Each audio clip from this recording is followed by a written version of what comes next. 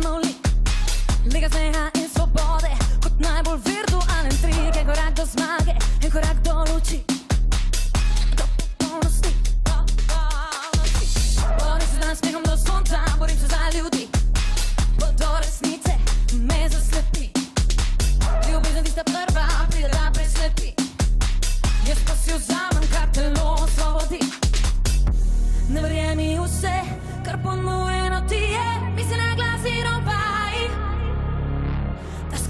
je v tem, ne prodaj se vsem, to je najbolj pase.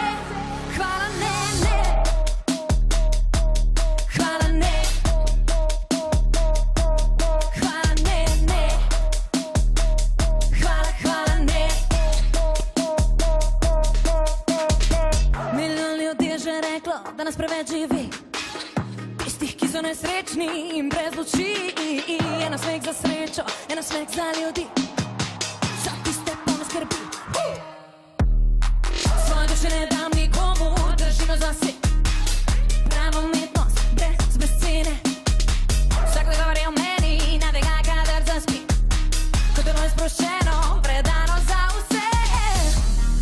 Verjemi vse, kar ponujeno ti je, mi si na glas in opaj. Ta skrivnost je v tem, ne prodaj se vsem, to je